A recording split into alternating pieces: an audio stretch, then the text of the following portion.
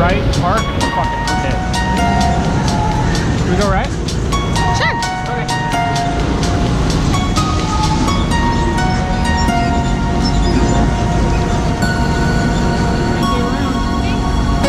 What?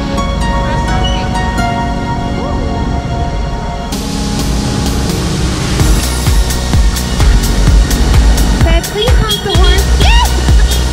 Do it again.